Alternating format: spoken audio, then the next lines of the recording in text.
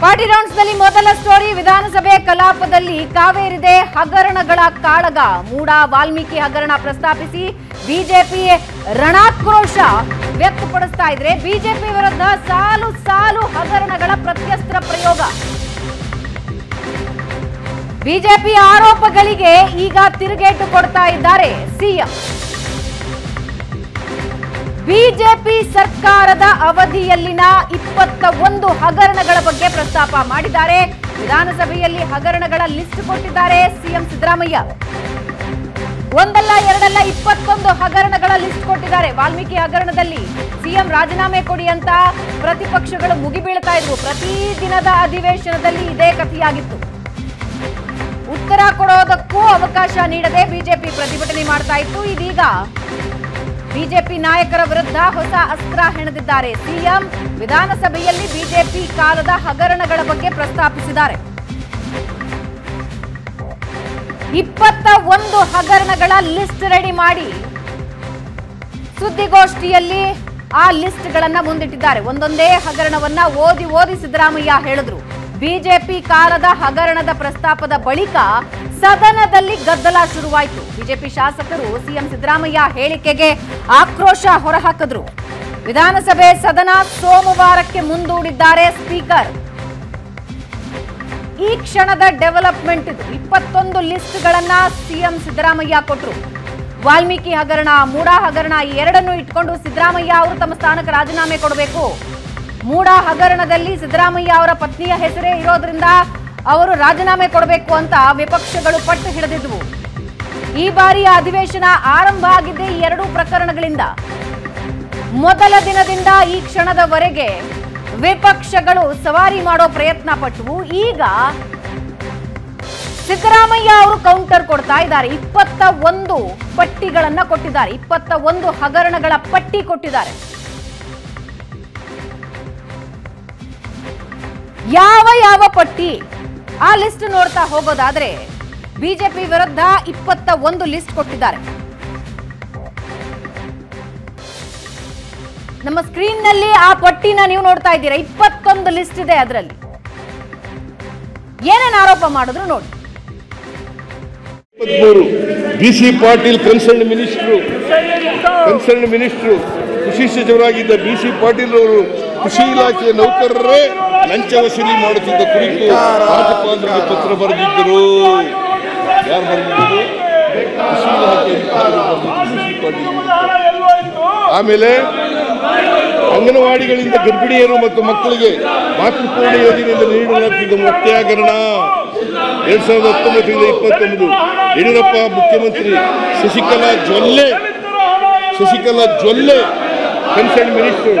ಗಂಗಾವತಿ ಶಾಸಕರಾಗಿದ್ದ ಪರಣ್ಣ ಮೂವಳ್ಳಿ ಕೂಡ ಭಾಗಿಯಾಗಿದ್ದರು ಕೆಐಡಿಬಿ ಹಗರಣ ಎರಡ್ ಸಾವಿರದ ಹದಿನೆಂಟು, ಎಂಟರಿಂದ ಹದಿಮೂರರವರೆಗೆ B S Yediyurappa, Jagadish Shettar, Sadananda Gowda Katta Subramanya Naidu Murugesh Nirani BSc ಹೋಗೋದು ಬೇಡ ಅಲ್ಲ? ಬೃಹತ್ ಹಗರಣ ಹೇಳ್ಬಿಡು, ಮಾಡ್ಬಿಡೋಣ. ಕೃಷಿ ಇನ್ನೂ ಆರಿಲ್ಲ. ಗಣಿ ಹಗರಣ. ಬಿಡಿಎ ಮತ್ತು ಕೆಎಡಿಬಿ ಡಿ ನೋಟಿಫಿಕೇಶನ್ ಹಗರಣದಲ್ಲಿ ಮುಖ್ಯಮಂತ್ರಿಗಳು ಹಾಗೂ ಹಲವಾರು ಸಚಿವರುಗಳು ಜೈಲಿಗೆ ಹೋಗಿದ್ದಾರೆ. ಎಸ್ ರಾಘವೇಂದ್ರ ಕೋಆಪರೇಟಿವ್ ಬ್ಯಾಂಕ್ನ ಇದುವರೆಗೂ ಈ ಹಗರಣ. ಸಾವಿರಾರು ಕೋಟಿ ಹಣವನ್ನು ದೋಚಿರುವ ಐಟಿ ಐಡಿ ಮತ್ತು ಶ್ರೀಬೈರವರು ಬಂಧಿಸುವ ಕೆಲಸ ಮಾಡಿಲ್ಲ. ಜಯನಗರ ಬಸವನಗುಡಿಯ ಬೀದಿ ಬೀದಿಗಳಲ್ಲಿ ಬಸವನಗುಡಿಯ ಬೀದಿ ಬೀದಿಗಳಲ್ಲಿ ಕಳ್ಳರು ವಿಧಾನಸೌಧ ಪಾರ್ಲಿಮೆಂಟಿಗೂ ಆಯ್ಕೆಯಾಗಿ ಹೋಗಿದ್ದಾರೆಂದು ಮಾತನಾಡಿಕೊಳ್ಳುತ್ತಿದ್ದಾರೆ. ಬಗೆದಷ್ಟು ಬಿಜೆಪಿ. ಬಗೆದಷ್ಟು ಬಿಜೆಪಿ ಬಗೆದ ರೀಡು, ರೀಡು. ಸ್ಯಾಂಪಲ್ಗಳು ನಾ ಹೇಳಿರೋದು ಇನ್ನೂ ಬೇಕಾದಷ್ಟು ಇದ್ದಾವೆ ಹಗರಣಗಳು ಇನ್ನು ಬಗೆದಷ್ಟು ಬಿಜೆಪಿ ಅವಧಿಯ ಲೆಕ್ಕ ಹಾಕಲಾಗದಷ್ಟು ಹಗರಣಗಳು ಬಯಲಾಗುತ್ತಲೇ ಇವೆ. ಈ ಹಗರಣಗಳ ಕುರಿತು ವಿವಿಧ ತನಿಖೆಗಳು ನಡೆಯುತ್ತಿವೆ. ಭ್ರಷ್ಟರು ಹಾಗೂ ಗುರುಳರು ಜೈಲಿಗೆ ಹೋಗುವ ದಿನಗಳು ದೂರವಿಲ್ಲ. ಅರ್ಕಾವತಿ ರೀಡು ಆಮೇಲೆ ತಾಕತ್ತಿದೆಯಾ ಅಂತ ಏನಾಯ್ತಪ್ಪ ನಿಮ್ಗೆ? ಪಾರ್ಲಿಮೆಂಟ್. ನಿಮ್ ತಾಕತ್ತೆಲ್ಲ ಎಲ್ಲೋಯ್ತು ಪಾರ್ಲಿಮೆಂಟ್ ಅಲ್ಲಿ ಸೋತ್ರಿ. ಬಿಜೆಪಿ ಸೋಲ್ತು ನಾವು ಅಧಿಕಾರಕ್ಕೆ ಬಂದಿದ್ದೀವಿ. ನೂರ ಮೂವತ್ತಾರು ಜನ. ನೂರ ಮೂವತ್ತಾರು ಜನ ಗೆದ್ದಿದ್ದೀವಿ ನಾವು. ಪಾರ್ಲಿಮೆಂಟ್ ಅಲ್ಲಿ ನಾವು ನಂಬರ್ ನೂರ ಮೂವತ್ತಾರು ಅರವತ್ನಾಲ್ಕು. ಅರವತ್ನಾಲ್ಕು ನಿಮ್ಮ ಆಯ್ಸಿ ಎಷ್ಟೇ ಸುಳ್ಳು ಆರೋಪಗಳನ್ನು ನಾವು ಬಗ್ಗಲ್ಲ. ಇದರಲ್ಲ. ಜಗ್ಗಲ್ಲ. ಪಾರ್ಲಿಮೆಂಟ್ ಸೋಲು. ನಿಮ್ಮನ್ನ ಬಲಿ ಹಾಕಿ ಎಲ್ಲ ತನಿಖೆಗಳನ್ನು ಮಾಡಿಸಿ ನಿಮ್ಮನ್ನ ಬಲಿ ಹಾಕಿ ಕೆಲವರನ್ನ ತಪ್ಪಾಡ್ದವ್ರನ್ನ ಜೈಲಿಗೆ ಕಳಿಸ್ತಕ್ಕಂಥ ಕೆಲಸವನ್ನು ಮಾಡೇ ಮಾಡ್ತೀವಿ ಅಂತಕ್ಕಂಥ ಮಾತುಗಳನ್ನ ಹೇಳಿ ಇನ್ನು ಇಪ್ಪತ್ತೊಂದು ಹಗರಣಗಳ ಪ್ರಸ್ತಾಪಕ್ಕೆ ವಿಪಕ್ಷ ನಾಯಕ ಆರ್ ಅಶೋಕ್ ಆಕ್ರೋಶ ಹೊರಹಾಕಿದ್ದಾರೆ. ಗಮನ ಬೇರೆಡೆ ಸೆಳೆಯೋದಕ್ಕೆ ಇಪ್ಪತ್ತೊಂದು ಹಗರಣಗಳ ಪ್ರಸ್ತಾಪ ಮಾಡ್ತಾ ಇದ್ದಾರೆ. ನ್ಯಾಯ ಸಿಗೋವರೆಗೆ ನಾವು ಹೋರಾಟ ಮಾಡ್ತೀವಿ ಅಂತ ಆರ್ ಅಶೋಕ್ ಹೇಳಿದ್ರೆ ಅವರ ಮಾತಿಗೆ ಡಿಸಿಎಂ ಡಿಕೆ ಶಿವಕುಮಾರ್ ತಿರುಗೇಟು ಕೊಟ್ಟಿದ್ದಾರೆ. ಮುಚ್ಚಾಕಿರೋ ಹಗರಣಗಳ ತನಿಖೆ ಮಾಡ್ತಾ ಇದ್ದೀವಿ ನಾವು. ಎಲ್ಲ ಹಗರಣಗಳ ಬಗ್ಗೆ ತನಿಖೆ ಮಾಡೇ ಮಾಡ್ತೀವಿ ಅಂತ ಡಿ ಕೆ ಶಿವಕುಮಾರ್ ಹೇಳಿದ್ದಾರೆ. ಇಬ್ಬರ ಆರೋಪ, ಪ್ರತ್ಯಾರೋಪ, ವಾಗ್ಯುದ್ಧ ಹೇಗಿತ್ತು ಅನ್ನೋದನ್ನ ನೋಡಿ.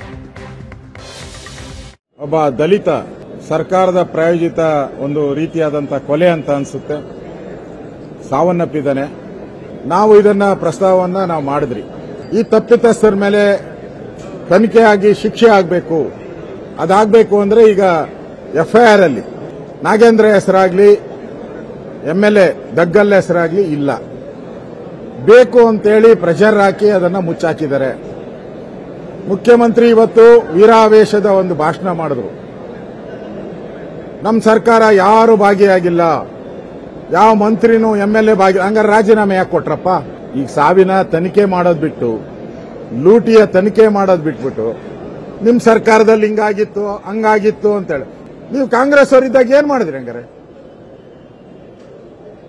ಏನ್ ಮಾಡಿದ್ರಿ? ಅಂದ್ರೆ ನೇರವಾಗಿ ಸರ್ಕಾರ ಈ ಹಗರಣದಲ್ಲಿ ಭಾಗಿಯಾಗಿರೋದು ಸ್ಪಷ್ಟವಾಗಿ ಕಾಣ್ತಾ ಇದೆ. ಇದನ್ನು ಯಾಮಾರ್ಸಕ್ಕೋಸ್ಕರ ಫ್ಲಡ್ ಆಗಿದೆ. ಆ ತರ ಏನೋ ಅಂತ ಹೇಳಿ. ಅಶೋಕ್ ಅವ್ರಿಗೆ ಉತ್ತರ ಇದು ಚರ್ಚೆ ಮಾಡಲಿಕ್ಕೆ ಅವಕಾಶ ಮಾಡಿಕೊಟ್ಟು. ಯಾವ ತನಿಖೆಗಳು ಇತ್ತೋ ಆ ಒಂದು ಇಲಾಖೆಯಲ್ಲಿ ಚರ್ಚೆ ಮಾಡಲಿಕ್ಕೆ ಅವಕಾಶ ಇರಲಿಲ್ಲ.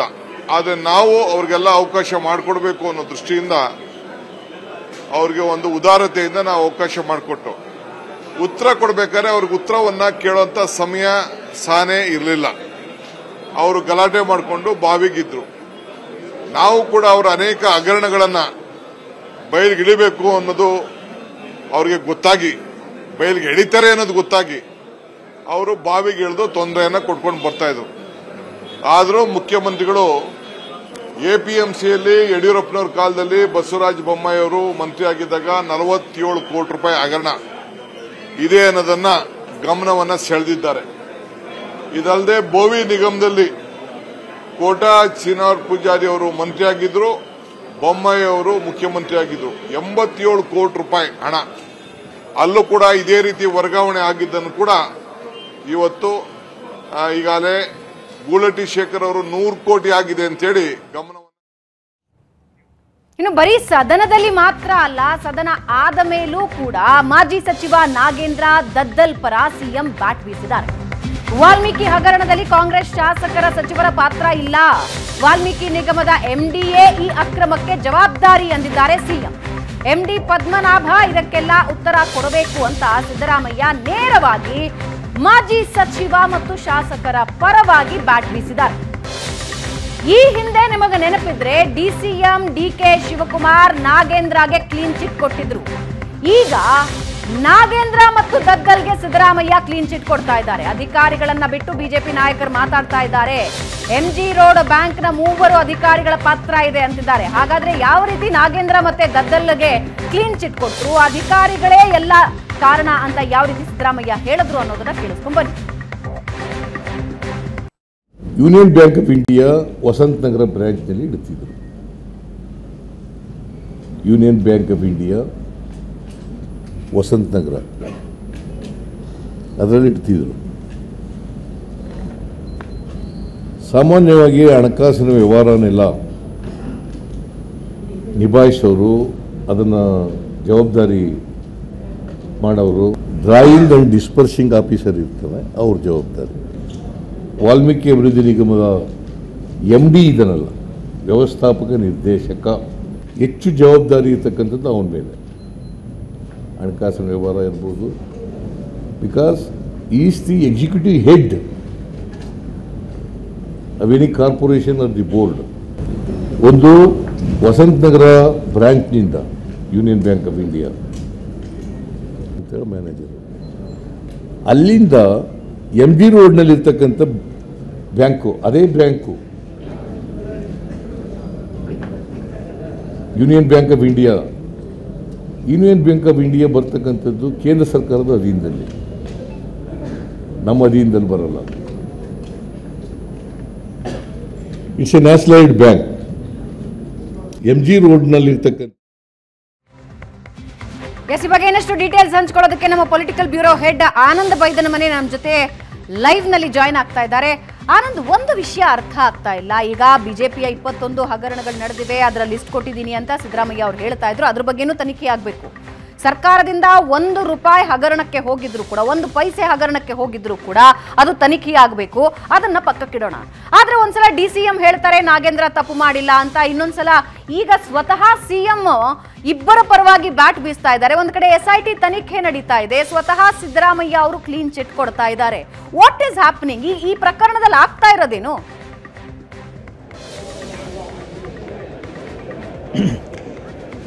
ರಾಜ್ಯ ವಿಧಾನಮಂಡಲ ಅಧಿವೇಶನದಲ್ಲ ಮುಖ್ಯವಾಗಿ ಮೂರು ದಿನಗಳ ಕಾಲ ಈ ವಾಲ್ಮೀಕಿ ಅಭಿವೃದ್ಧಿ ನಿಗಮದಲ್ಲಿ ನಡೆದಿರತಕ್ಕಂಥ ಅಕ್ರಮದ ಬಗ್ಗೆ ಚರ್ಚೆ ಆಗಿದೆ. ಸುದೀರ್ಘ ಚರ್ಚೆ ಬಳಿಕ ಮುಖ್ಯಮಂತ್ರಿಗಳು ಸದನದೊಳಗೆ ಉತ್ತರ ಕೊಡುವ ಸಂದರ್ಭದಲ್ಲಿ ಬಿ ಜೆ ಪಿಯ ಸರ್ಕಾರದ ಅವಧಿಯಲ್ಲಿ ಆಗಿರತಕ್ಕಂಥ ಅಕ್ರಮಗಳ ಪಟ್ಟಿಯನ್ನು ಬಿಡುಗಡೆ ಮಾಡುವಂಥ ಪ್ರಯತ್ನ ಮಾಡಿದರೆ ಬಿಜೆಪಿ ನಾಯಕರು ಕೂಡ ಅಕ್ರಮ ಮಾಡಿದ್ದಾರೆ ಅಂತಕ್ಕಂಥದ್ದನ್ನು ದಾಖಲು ಮಾಡುವಂಥ ಪ್ರಯತ್ನ ಮಾಡಿದ್ದಾರೆ. ಅದ ನಂತರವೂ ಕೂಡ ಮುಖ್ಯಮಂತ್ರಿ ಸಿದ್ದರಾಮಯ್ಯನವರು ಈ ಪ್ರಕರಣದಲ್ಲಿ ನಾಗೇಂದ್ರ ಮತ್ತು ದದ್ದಲ್ ಇಬ್ಬರ ಪಾತ್ರ ಇಲ್ಲ ಅಂತಕ್ಕಂಥದ್ದು ಭಾಳ ಸ್ಪಷ್ಟವಾಗಿ ಹೇಳುವಂಥ ಪ್ರಯತ್ನ ಮಾಡಿದ್ದಾರೆ.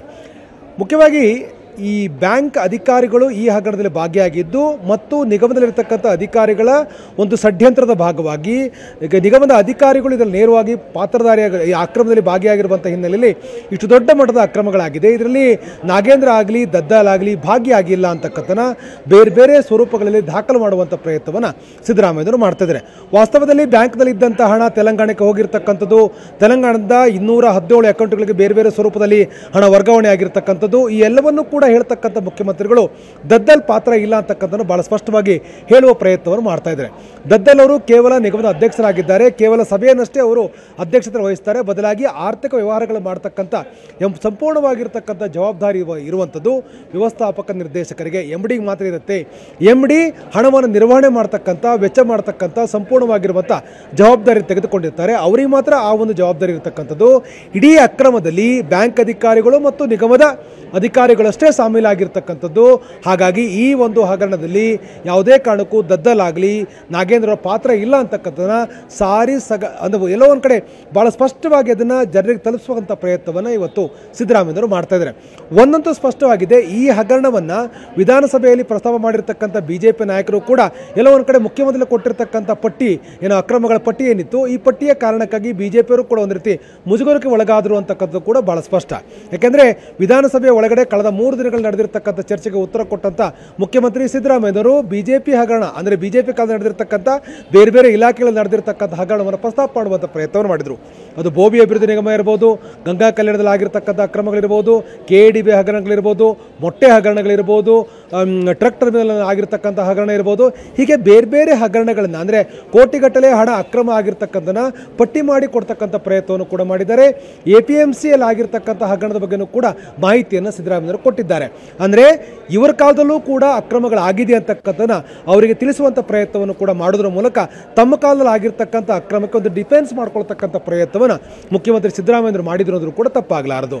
ಇನ್ನೊಂದು ಬಹಳ ಪ್ರಮುಖವಾಗಿ ಇಂಥ ಸಂದರ್ಭಗಳಲ್ಲಿ ಅತ್ಯಂತ ಪ್ರಬಲವಾಗಿ ವಿರೋಧಿಸಬೇಕಾಗಿದ್ದಂಥ ಬಿ ಜೆ ಪಿ ಕೂಡ ಅಕ್ರಮಗಳ ಪಟ್ಟಿಯನ್ನು ಬಿಡುಗಡೆ ಮಾಡುವ ಸಂದರ್ಭದಲ್ಲೂ ಕೂಡ ಅವರ ವಯಸ್ಸು ಕಡಿಮೆ ಇತ್ತು. ಯಾಕಂತಂದರೆ ಈ ಎಲ್ಲ ಪ್ರಕರಣಗಳು ಬೇರೆ ಬೇರೆ ಹಂತಗಳಲ್ಲಿ, ಬೇರೆ ಬೇರೆ ಸನ್ನಿವೇಶಗಳಲ್ಲಿ ಸದ್ದನ್ನು ಮಾಡಿರ್ತಕ್ಕಂಥದ್ದು. ಹಾಗಾಗಿ ಈ ವಿಚಾರಗಳು ಏಕಕಾಲದಲ್ಲಿ ಪ್ರಸ್ತಾಪ ಆದಾಗ ಬಿಜೆಪಿಗರು ಬಿಜೆಪಿ ಸದಸ್ಯರು ಕೂಡ ಒಂದು ರೀತಿ ಮುಜುಗರಕ್ಕೆ ಒಳಗಾದರು. ಕಾಂಗ್ರೆಸ್ನ ಅಕ್ರಮಗಳನ್ನು ಪಟ್ಟಿ ಮಾಡಿ ಘೋಷಣೆ ಕೂಗೋದ್ರ ಮೂಲಕ ಕಾಂಗ್ರೆಸ್ನ ವಿರುದ್ಧ ವಾಗ್ದಾಳಿ ಮಾಡುವ ಪ್ರಯತ್ನವನ್ನು ಕೂಡ ಮಾಡಿದರು. ಆದರೆ ಗಟ್ಟಿ ಧ್ವನಿಯಲ್ಲಿ ಸ್ಪಷ್ಟವಾಗಿ ಎಲ್ಲ ಬಿ ಜೆ ಪಿ ಶಾಸಕರುಗಳು ಜೆ ಡಿ ಎಸ್ ಶಾಸಕರು ಎಲ್ಲರೂ ಕೂಡ ಗಟ್ಟಿಯಾಗಿ ಆಳುವ ಸರ್ಕಾರದ ವಿರುದ್ಧ ತಮ್ಮ ವಾಗ್ದಾಳಿ ಮುಂದುವರಿಸಬೇಕಾಗಿರುವಂಥ ಸಂದರ್ಭ ಎಲ್ಲೋ ಒಂದು ಕಡೆ ಇವತ್ತು ಸ್ಪಷ್ಟವಾಗಿರಲಿಲ್ಲ ಅಂತಕ್ಕಂಥದ್ದು ಭಾಳ ಕಂಡು ಬಂದಿದೆ ಯಾಕೆಂತಂದರೆ ಸದನದ ಬಾವಿ ಒಳಗಡೆ ಬಿ ಜೆ ಪಿ ಮತ್ತು ಜೆ ಡಿ ಎಸ್ ಸದಸ್ಯರುಗಳು ಧರಣಿ ಮಾಡ್ತಾ ಇದ್ದಂಥ ಕಾರಣಕ್ಕಾಗಿ ಸಿದ್ದರಾಮಯ್ಯರು ಅಕ್ರಮಗಳ ಪಟ್ಟಿಯನ್ನು ಓದ್ತಾ ಇರುವ ಸಂದರ್ಭದಲ್ಲಿ ಅದಕ್ಕೆ ಪ್ರತಿಯಾಗಿ ವಾಗ್ದಾಳಿ ಮಾಡ್ತಕ್ಕಂಥ ಒಂದು ಅವಕಾಶವನ್ನು ಬಿಜೆಪಿ ಮತ್ತು ಜೆ ಡಿ ಎಸ್ ಶಾಸಕರುಗಳು ಕಳೆದುಕೊಂಡ್ರು ಅಂದರೂ ಕೂಡ ತಪ್ಪಾಗಲಾರದು. ಆದರೆ ಒಂದಂತೂ ಸ್ಪಷ್ಟ. ಆನಂದ್ ಸರ್ಕಾರ ಆರಂಭಿಕ ಆರಂಭಿಕ ದಿನಗಳಲ್ಲಿ ನೀವು ನೆನಪು ಮಾಡ್ಕೊಳ್ಳೋದಾದ್ರೆ ಹಿಂಗಿದ್ದೊಂದು ಪ್ರಸ್ತಾಪ ಸರ್ಕಾರದ ವತಿಯಿಂದ ಬಂದಿತ್ತು. ಸರ್ಕಾರದ ಸಚಿವರು, ಕೆಲವರು ಶಾಸಕರು ಈ ಮಾತನ್ನು ಹೇಳ್ತಾ ಇದ್ರು. ಬಿಜೆಪಿ ಅವಧಿಯಲ್ಲಿ ಅವಧಿಯಲ್ಲಿ ಏನು ಹಗರಣ ಆಗಿದೆಯೋ ಅದನ್ನು ಆಚೆ ತೆಗಿತೀವಿ ಆಚೆ ತೆಗಿತೀವಿ ಆಚೆ ತೆಗಿತೀವಿ ಅಂತ ಹೇಳಿದ್ರು. ಅದಾದ ಕೆಲವು ತಿಂಗಳಲ್ಲಿ ಅಲ್ಲಿಗೆ ನಿಂತು ಹೋಯ್ತು ವಿಷಯ. ಮಾತು ನಿಂತು ಹೋಯ್ತು. ಆದರೆ ಈಗ ಎರಡು ಹಗರಣಗಳು ಹೊರಗೆ ಬಂದವು. ಅದಕ್ಕೆ ಡಿಫೆನ್ಸ್ ಆಗಿ ನಾವು ಇಪ್ಪತ್ತೊಂದು ಹಗರಣಗಳ ಲಿಸ್ಟ್ ಕೊಡ್ತೀವಿ ಅಂತಿದ್ದಾರೆ. ಈ ಹಗ ಬಿಜೆಪಿ ಮಾಡಿರಲಿ, ಕಾ- ಅಥವಾ ಕಾಂಗ್ರೆಸ್ ಮಾಡಿರಲಿ, ಈ ಹಗರಣಗಳು ತನಿಖೆಗೆ ಬಂದು ಯಾರು ಮಾಡಿದ್ದಾರೆ, ಇವೆಲ್ಲ ಇದು ಇದು ಮುಂದಕ್ಕೆ ಹೋಗುತ್ತಾ, ಈ ವಿಷಯ ಮುಂದಕ್ಕೆ ಹೋಗುತ್ತಾ, ಅಥವಾ ಕೇವಲ ಡಿಫೆನ್ಸ್ ಆಗಿ ಬಳಸ್ಕೊಳ್ತಾ ಇದ್ದಾರೆ? ಒಂದು, ಇನ್ನು ಮುಂದಿನ ವಾರದಿಂದ ಮೂಡಾ ಹಗರಣದ ಕುರಿತಾಗಿ ವಿಪಕ್ಷಗಳು ಮುಗಿಬೀಳೋ ಸಾಧ್ಯತೆ ಹೆಚ್ಚಿನ ಮಟ್ಟಿಗಿದೆ ಸೋಮವಾರದಿಂದ. ಈ ಬಾರಿ ವಾಲ್ಮೀಕಿ ಹಗರಣದ ಕುರಿತಾಗಿ ಸಿಎಂ ಗಟ್ಟಿಯಾಗಿ ನಿಂತು ಮಾತಾಡ್ತಾ ಇದ್ದಾರೆ. ಆದರೆ ಮುಂದಿನ ವಾರ ಮೂಡಾ ಹಗರಣದ ಪ್ರತಿಭಟನೆಯನ್ನ ತೆಗೆದುಕೊಂಡಾಗ ಎಲ್ಲರೂ ಒಟ್ಟಿಗೆ ಎದುರಿಸ್ತಾರಾ? ಅಥವಾ ಸಿದ್ದರಾಮಯ್ಯ ಅವ್ರನ್ನ ಏಕಾಂಗಿ ಮಾಡ್ತಾರಾ? ಸಚಿವರುಗಳೆಲ್ಲರೂ ಜೊತೆಗೆ ನಿಂತ್ಕೋತಾರಾ? ಹೆಂಗಿರುತ್ತೆ ಮುಂದಿನ ಪ್ಲಾನ್? ಎಸ್ ಭಾವನಾ, ಒಂದಂತೂ ಸ್ಪಷ್ಟ. ಅಂದರೆ ಈ ಸರ್ಕಾರ ಅಧಿಕಾರಕ್ಕೆ ಬರ್ತಿದ್ದ ಹಾಗೆಯೇ ಹಿಂದಿನ ಸರ್ಕಾರದ ಅವಧಿ ನಡೆದಿರತಕ್ಕಂಥ ನಲವತ್ತು ಪರ್ಸೆಂಟ್ ಹಗರಣಗಳನ್ನು ಹಂತ ಹಂತವಾಗಿ ಪ್ರತಿಯೊಂದು ಇಲಾಖೆಯಲ್ಲಿ ನಡೆದಿರ್ತಕ್ಕಂಥ ಹಗರಣವನ್ನು ತನಿಖೆ ಮಾಡೋದಾಗಿ, ಮುಖ್ಯಮಂತ್ರಿ ಸೇರಿದಾಗೆ ಬಹುತೇಕ ಸಚಿವರೆಲ್ಲರೂ ಕೂಡ ಹೇಳ್ತಾ ಇದ್ರು. ಆದರೆ ನಾಗಮೋಹನ್ ದಾಸ್ ಸಮಿತಿ ಸೇರಿದಾಗೆ, ಅಂದರೆ ನಾಗಮೋಹನ್ ಆಯೋಗ ಸೇರಿದಾಗೆ ನ್ಯಾಯಮೂರ್ತಿ ಬೀರಪ್ಪ ಸೇರಿದಾಗೆ ಬೇರೆ ಬೇರೆ ಆಯೋಗಗಳನ್ನು ರಚನೆ ಮಾಡಲಾಗಿದೆ. ಆ ಒಂದು ಆಯೋಗದ ಮೂಲಕ ಕೆಲವೊಂದಷ್ಟು ತನಿಖೆಗಳು ಆಗ್ತಾ ಇದೆ. ಆದರೆ ಇವತ್ತು ಮುಖ್ಯಮಂತ್ರಿ ಸಿದ್ದರಾಮಯ್ಯವರು ಸದನದಲ್ಲಿ ಕೊಟ್ಟಿರತಕ್ಕಂಥ ಬಹುತೇಕ ಹಗರಣಗಳ ಪಟ್ಟಿಯಲ್ಲಿ ಇರತಕ್ಕಂಥ ಕೆಲವೊಂದಷ್ಟು ಪ್ರಮುಖ ವಿಚಾರಗಳು ಇನ್ನೂ ಕೂಡ ತನಿಖೆ ಆಗ್ತಾ ಇಲ್ಲ. ಮುಖ್ಯವಾಗಿ ಮೊಟ್ಟೆ ಹಗರಣ ಇರ್ಬೋದು, ಅಥವಾ ಎ ಪಿ ಎಂ ಸಿಯಲ್ಲಿ ನಡೆದಿರ್ತಕ್ಕಂಥ ಅಕ್ರಮಗಳಿರ್ಬೋದು ಅಥವಾ ಗಂಗಾ ಕಲ್ಯಾಣದಲ್ಲಿ ಆಗಿರ್ತಕ್ಕಂಥ ಅಕ್ರಮಗಳಿರ್ಬೋದು ಇವೆಲ್ಲವನ್ನು ಕೂಡ ಪಟ್ಟಿ ಮಾಡಿರ್ತಕ್ಕ ಮುಖ್ಯಮಂತ್ರಿಗಳು ಈ ಬಗ್ಗೆ ಯಾಕೆ ತನಿಖೆ ಮಾಡಿಸುವಂಥ ನಿರ್ಧಾರವನ್ನು ಪ್ರಕಟ ಮಾಡಿಲ್ಲ ಅಂತಕ್ಕಂಥ ಸಹಜವಾದ ಪ್ರಶ್ನೆಗಳು ಮೂಡೇ ಮೂಡುತ್ತೆ. ಯಾಕೆಂತಂದರೆ ಈ ಸರ್ಕಾರ ಅಧಿಕಾರಕ್ಕೆ ಬರುವ ಮುಂಚಿತವಾಗಿ ನಲವತ್ತು ಪರ್ಸೆಂಟ್ ಅಕ್ರಮದ ಬಗ್ಗೆ ತನಿಖೆ ಮಾಡ್ತೇವೆ ಜನರ ಬಳಿಗೆ ಇವರೆಲ್ಲರ ಅಕ್ರಮಗಳನ್ನು ತೆಗೆದುಕೊಂಡು ಹೋಗ್ತೇವೆ ಅಂತ ಹೇಳಿ ಭಾಷಣ ಮಾಡಿಕೊಂಡು ಅಧಿಕಾರಕ್ಕೆ ಬಂತ ಮುಖ್ಯಮಂತ್ರಿ ಸಿದ್ದರಾಮಯ್ಯ ಮತ್ತು ಡಿ ಕೆ ಶಿವಕುಮಾರರು ಸರ್ಕಾರ ಅಧಿಕಾರಕ್ಕೆ ಬಂದು ಒಂದು ವರ್ಷ ಆದರೂ ಕೂಡ ಒಂದು ಸ್ಪಷ್ಟವಾಗಿದ್ದ ರೀತಿಯಲ್ಲಿ ಎಲ್ಲ ಹಗರಣಗಳ ಬಗ್ಗೆನೂ ಕೂಡ ತನಿಖೆ ಮಾಡತಕ್ಕಂಥ ನಿರ್ಧಾರವನ್ನು ಯಾಕೆ ತೆಗೆದುಕೊಂಡಿಲ್ಲ ಅಂತಕ್ಕಂಥದ್ದು. ಇದು ಎಲ್ಲ ಒಂದು ಕಡೆ ಹೊಂದಾಣಿಕೆ ರಾಜಕಾರಣದ ಭಾಗವ ಅಂತಕ್ಕಂಥ ಸಹಜವಾದ ಪ್ರಶ್ನೆ ಮೂಡುತ್ತೆ. ಇವತ್ತು ಡಿಪೆಂಡ್ ಮಾಡ್ಕೊಂಡಿರ್ತಕ್ಕಂಥ ಮುಖ್ಯಮಂತ್ರಿ ಸಿದ್ದರಾಮಯ್ಯನವರು ಮೂಢ ಹಗರಣ ಮೂಢ ಹಗರಣ ಪ್ರಸ್ತಾಪ ಆದಾಗ ಹೇಗೆ ಡಿಪೆಂಡ್ ಮಾಡ್ಕೊಳ್ತಾರೆ ಅಂತಕ್ಕಂಥದ್ದು ಕೂಡ ಬಹಳ ಪ್ರಮುಖ ಆಗುತ್ತೆ. ಆದರೆ ಮೂಢ ಹಗರಣವನ್ನು ಹೇಗೆ ಪ್ರಸ್ತಾಪ ಮಾಡ್ತಾರೆ ಅನ್ನೋದು ಕೂಡ ಬಹಳ ಪ್ರಮುಖ ಆಗುತ್ತೆ. ಬಿಜೆಪಿಯ ಶಾಸಕರುಗಳು ಜೆ ಡಿ ಎಸ್ ಶಾಸಕರು ಈ ಮೂಢ ಹಗರಣವನ್ನು ಹೇಗೆ ಪ್ರಸ್ತಾಪ ಮಾಡ್ತಾರೆ ಅವರ ಆಗ್ರಹ ಏನಿರುತ್ತೆ ಅಂತ ಯಾಕಂದ್ರೆ ಮೂಢ ಹಗರಣ ಸಹಜ ಪ್ರಸ್ತಾಪ ರೈಟ್ ರೈಟ್ ಆನಂದ್ ಧನ್ಯವಾದ ನೀವೆಲ್ಲ ಮಾಹಿತಿಗೆ. ವಿಧಾನಸಭೆ ಬಳಿಕ ಪರಿಷತ್ನಲ್ಲೂ ಕೂಡ ವಾಲ್ಮೀಕಿ ಹಗರಣ ದೊಡ್ಡ ಮಟ್ಟಕ್ಕೆ ಸದ್ದು ಮಾಡ್ತಾ ಇದೆ. ಕಾಂಗ್ರೆಸ್ ಸದಸ್ಯರಿಂದಲೇ ವಾಲ್ಮೀಕಿ ಹಗರಣದ ಪ್ರಸ್ತಾಪ ಆಗಿದೆ. ವಿಷಯ ಪ್ರಸ್ತಾಪಿಸಿ ರಾಜಕೀಯ ಮಾಡಬೇಡಿ ಅಂತ ಮನವಿ ಮಾಡಿಕೊಂಡಿದ್ದಾರೆ. ನಾಗರಾಜ್ ಯಾದವ್ಗೆ ರವಿಕುಮಾರ್ ಸಿಟಿ ರವಿ ಟಾಂಗ್ ಕೊಟ್ಟಿದ್ದು, ಬಳ್ಳಾರಿ ಚುನಾವಣೆಗೆ ಹಣ ಬಳಸಿದ್ದಾರೆ ಅಂತ ಬಿಜೆಪಿ ಸದಸ್ಯರು ಆರೋಪಿಸಿದ್ರು. ವಿಧಾನ ಪರಿಷತ್ನಲ್ಲಿ ಕೋಲಾಹಲ ಗದ್ದಲ ಶುರುವಾಯಿತು. ಇದರಿಂದಾಗಿ ಸದನ ಮುಂದೂಡಿಕೆಯಾಯಿತು.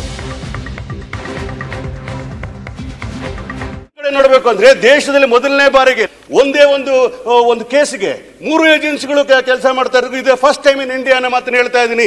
ಎಸ್ ಐ ಡಿನ ಕೂಡಲೇ ಸರ್ಕಾರ ರಚನೆ ಮಾಡ್ತದೆ.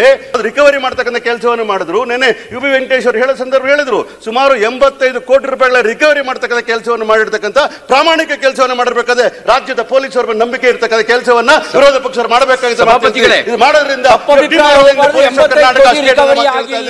ಇಲ್ಲ ನಾನು ಹೇಳಾಗಿಲ್ಲ ದಯವಿಟ್ಟು ರಿಕವರಿ ಆಗಿಲ್ಲ. ಒಂದ್ ನಿಮಿಷ. ಮಾಹಿತಿ ಕೊಡ್ತಾ ಇದ್ದಾರೆ.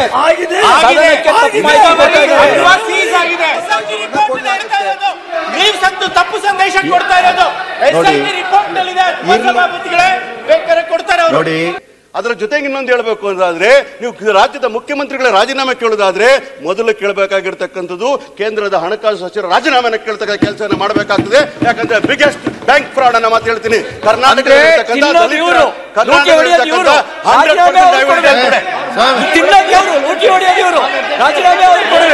ಅವರೊಬ್ರು ಪಾರ್ಲಿಮೆಂಟ್ ಸದಸ್ಯರು. ಅವ್ರ ಬಗ್ಗೆ ಈ ರೀತಿ ಹೆಸರು ತಗೊಂಡು ಉಲ್ಲೇಖ ಮಾಡಬಾರ್ದು. ಒಂದು ಹೈದರಾಬಾದಿಗೆ ಬ್ಯಾಂಕಿಗೆ ಅಕೌಂಟಿಗೆ ಟ್ರಾನ್ಸ್ಫರ್ ಆಗಿದೆ. ನಾವು ಹೇಳ್ಬೋದಾ? ರಾಹುಲ್ ಗಾಂಧಿ ಅವ್ರು ಹೇಳಿದ್ದಾರೆ, ಅದಕ್ಕಂತೆ ಹಣ ಟ್ರಾನ್ಸ್ಫರ್ ಮಾಡಿದ್ದಾರೆ ಅಂತ ಹೇಳ್ಬೋದಾ ನಾವು? ಅವ್ರು ಅದೇ ಕಂಟೆನ್ಷನ್ ಏನು ಹೇಳ್ತಾ ಇದ್ದಾರೆ the procedure of the bank which is been there it's centralise bank governed by government of India nationalise bank ಇದೆ. Process of election code of ಕಂಡಕ್ಟ್ನಲ್ಲಿ usually ಹತ್ತು ಲಕ್ಷ ರೂಪಾಯಿ ತೆಗಿಯೋಕ್ಕೂ ಬರೋದಿಲ್ಲ. ನಿಮಗೆಲ್ಲ ಗುರ್ತಿದೆ. ಆ ಒಂದು ಕಂಟೆನ್ಷನ್ನಲ್ಲಿ could be blame Nirmala Sitharaman ಅಂತ ಹೆಸರು ಹೇಳಿರ್ತಕ್ಕ ಕುಡ್ ಬಿ ಅಂತ ಕೇಳಿದ್ರು ಮಾಡ್ಬೋದಾ ಅಂತ ಒಂದು ಪ್ರಶ್ನೆ ಹೇಳಿದ್ರೆ ವಿನಾ ಬರ್ತು. ಹಿ ಡಿಡ್ ನಾಟ್ ಬ್ಲೇಮರ್ ಅಂತ ಸದನ ಕೇಳಲಿಕ್ಕೆ ಇಚ್ಛೆ ಬಯಸ್ತೇನೆ ಸಿದ್ದರಾಮಯ್ಯ ರಾಜೀನಾಮೆ ಕೇಳಕ್ಕೆ ಹೋಗ್ತೀರಿ. ನಾವು ಹಾಗಾದ್ರೆ ಎಲ್ಲ ಬ್ಯಾಂಕ್ ಫ್ರಾಡ್ಗಳಿಗೆ ದೇಶದ ಪ್ರಧಾನಿಗಳನ್ನ ರಾಜೀನಾಮೆ ಕೇಳಿದ್ರೆ ನಮ್ಮನ್ನ ಏನಂತಾರೆ ಜನ? ನೀವು ಯೋಚನೆ ಮಾಡಿ ನೋಡಿ. ಎಲ್ಲದರೂ ರಾಜಕೀಯ ಮಾಡ್ತಕ್ಕಂಥದ್ದು ವಿಶೇಷವಾಗಿ S C S T O B C ಮತ್ತು ಮೈನಾರಿಟೀಸ್ ವಿಚಾರದಲ್ಲಿ ರಾಜಕಾರಣ ಮಾಡ್ತಕ್ಕಂಥದ್ದು ಎಷ್ಟು ಸರಿ ಅಂತ ಕೇಳ್ತೀನಿ. ಯಾವುದೇ ಕಾರಣಕ್ಕೂ ಕೂಡ ನಮ್ಮ ರಾಜ್ಯ ಸರ್ಕಾರ. ಪ್ರೊಟೆಕ್ಷನ್ 25 ಮಾಡಿಲ್ಲ. ಮಾಡುವುದಿಲ್ಲ. ರಾಜ್ಯ ಸರ್ಕಾರ ಇದ್ದ ಸಂದರ್ಭದಲ್ಲಿ ಫಾರ್ಟಿ ಪರ್ಸೆಂಟ್ ಕಮಿಷನ್ ಹೊಡೆದು ಇಡೀ ಇಡೀ ಇಡೀ ಇಡೀ ಇಡೀ ಇನ್ನು ಇಡೀ ದಿನವೂ ವಾಲ್ಮೀಕಿ ಹಗರಣ ಕಿಚ್ಚಿಗೆ. ಪರಿಷತ್ ಕಲಾಪ ಬಲಿಯಾಯಿತು ವಾಲ್ಮೀಕಿ ಹಗರಣ ಚುನಾವಣೆಗೆ ಬಳಸಿದ್ದಾರೆ ಅಂತ ರವಿಕುಮಾರ್ ನೇರ ಆರೋಪ ಮಾಡಿದ್ರು. ಬಿಜೆಪಿ ಸದಸ್ಯರ ಹೇಳಿಕೆಗೆ ಕಾಂಗ್ರೆಸ್ ಸದಸ್ಯರು ಆಕ್ಷೇಪ ವ್ಯಕ್ತಪಡಿಸಿದ್ರು, ಗದ್ದಲ ಶುರುವಾಯಿತು. ರವಿಕುಮಾರ್ ಕ್ಷಮೆ ಕೇಳಬೇಕು ಅಂತ ಕಾಂಗ್ರೆಸ್ ಸದಸ್ಯರು ಪಟ್ಟು ಹಿಡಿದ್ರು. ತೆಲಂಗಾಣಗೆ ಹಣ ಹೋಗಿದೆ ಅಂದಿದ್ದಕ್ಕೆ ಪರಿಷತ್ನಲ್ಲಿ ಗದ್ದಲ ಶುರುವಾಯಿತು. ಸೋಮವಾರಕ್ಕೆ ಮುಂದೂಡಿಕೆ ಆಗಿದೆ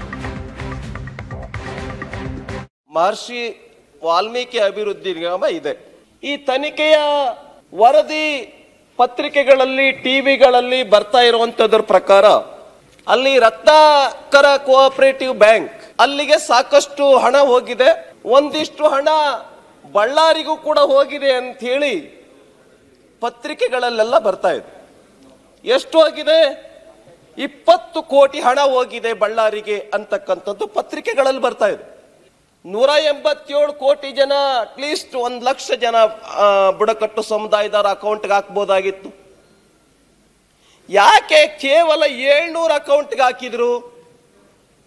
ಯಾಕೆ ಕೇವಲ ಏಳ್ನೂರು ಅಕೌಂಟ್ಗೆ ಹಾಕಿದ್ರು ಈ ಹಣವನ್ನ ಅಂತ ಹೇಳಿದ್ರೆ, ಆ ಏಳ್ನೂರು ಅಕೌಂಟ್ಗಳಿಂದ ಡ್ರಾ ಮಾಡಿದ್ದಾರೆ ಯಾರೋ? ಎರಡು ಲಕ್ಷ ರೂಪಾಯಿ ಒಬ್ರು ಡ್ರಾ ಮಾಡ್ತಾರೆ, ನಾಲ್ಕು ಲಕ್ಷ ರೂಪಾಯಿ ಒಬ್ರು ಡ್ರಾ ಮಾಡ್ತಾರೆ. ಆ ಹಣ ಹೆಂಗೆ ಅಂತ ಹೇಳಿದ್ರೆ ಐದರಿಂದ ಎಂಟು ಪರ್ಸೆಂಟ್ ಕಮಿಷನ್ ಹಣವನ್ನ ಯಾರು ಡ್ರಾ ಮಾಡ್ತಾನೆ ಆ ಹಣವನ್ನ ಇಟ್ಕೊಂಡು ಉಳಿದಿರೋ ಹಣ ಮಂತ್ರಿಗೆ ಕೊಡ್ಬೇಕಂತ. ಆ ಕಡೆ ಸಿ ಐ ಟಿ ಇದೆ, ನಮ್ಮ ಎಸ್ ಐ ಟಿ ಇದೆ, ಆ ಕಡೆ ಸಿ ಬಿ ಐ ಇದೆ ಇ ಡಿ ಇದೆ, ಎಲ್ಲ ಥರದ್ರಲ್ಲಿ ಎಲ್ಲಿ ಮಂತ್ರಿ ಅಂತಕ್ಕಂಥ ಪದ ಇಲ್ಲ. ಒಂದು, ಇವರು ನೇರವಾಗಿ ಇಲ್ಲಿ ಬಂದ್ಬಿಟ್ಟು ಮಂತ್ರಿ ಅಂತಕ್ಕಂಥದ್ದು ಪದನ ಡೆತ್ ನೋಟ್ನಲ್ಲಿರ್ತಕ್ಕಂಥದ್ದು ಏನಿದೆ ಅಂತಂದರೆ ಅದು ನನಗೆ, ನಾನು ಓದಿರ್ತ ಪ್ರಕಾರ ಮೌಖಿಕವಾಗಿ ಸಚಿವರು ಅಕೌಂಟ್ನ ಓಪನ್ ಮಾಡಲಿಕ್ಕೆ ಹೇಳಿದಾರೆ ಅಂತ ಮಾತಿದೆ if at all I am wrong please correct me also ಇದರಲ್ಲಿ ಡೆತ್ ನೋಟ್ನಲ್ಲಿ ಡೆತ್ ನೋಟಿಗೆ ಕಾಂಡ್ರ ಅಂತ ಯಾರು ಅಂತಕ್ಕಂಥದ್ದು ಒನ್ ಟೂ ತ್ರೀ ಅವ್ರಾಗಲೇ ಹೆಸರು ಕೊಟ್ಟಿದ್ದಾರೆ. ಅದ್ರ ಬಗ್ಗೆ ನಾನು ಹೋಗಲ್ಲ. ಇಲ್ಲಿ ಪ್ರಶ್ನೆ ಬಂದಿರತಕ್ಕಂಥದ್ದು, ಸಚಿವರಿಗೆ, ಮಂತ್ರಿಗಳಿಗೆ ಕಮಿಷನ್ ಅಂತಕ್ಕಂಥ ಅವ್ರ ಹೇಳ್ತಾರೆ. ಅದನ್ನ ನೀವು ಕಡತದಿಂದ ವಾಪಸ್ ತೆಗಿಬೇಕಂತ ಮಾತು ಏನು ಉಲ್ಲೇಖವನ್ನ ಮಾಡಿದ್ದಾರೆ ಅವರು? ಸಚಿವರುಗಳು ನೇರವಾಗಿ ಸಚಿವರುಗಳು ಅದರಿಂದ ಹಣದಿಂದ ತಗೊಂಡಿದ್ದಾರೆ ಅಂತ ಏನಾದರೂ ಕಡತದಲ್ಲಿ ಆಗಿದ್ರೆ ಅದನ್ನ ತೆಗೆದುಬಿಡಿ. ನಾನು ಎಲ್ಲಿ ಬೇ ಎಲ್ಲಿ ನಿಂತ್ಕೊಂಡು ಪ್ರಮಾಣ ಮಾಡಿ ಹೇಳಿ ಅಂದ್ರು ಹೇಳ್ತೇನೆ ಈ ಹಣ ಚುನಾವಣೆಗೆ ಖರ್ಚಾಗಿದೆ ತೆಲಂಗಾಣಕ್ಕೆ. ಕಾಂಗ್ರೆಸ್ ಶಾಸಕಾಂಗ ಸಭೆಯಲ್ಲಿ ಕೈ ಶಾಸಕರೇ ಸಿಡಿದೆದ್ದಿದ್ದಾರೆ. ಸಚಿವರ ಕಾರ್ಯವೈಖರಿ ವಿರುದ್ಧ ಸಭೆಯಲ್ಲಿ ಅಸಮಾಧಾನ ಹೊರಗೆ ಬಂದಿದೆ. ಏಳೆಂಟು ಶಾಸಕರು, ಏಳೆಂಟು ಸಚಿವರ ಬದಲಾವಣೆಗೆ ಕೈ ಶಾಸಕರು ಪಟ್ಟಿಡಿದ್ದಾರೆ ಎಷ್ಟು ಹೇಳಿದ್ರೂ ಸಚಿವರ ವರ್ತನೆ ಬದಲಾಗ್ತಾ ಇಲ್ಲ.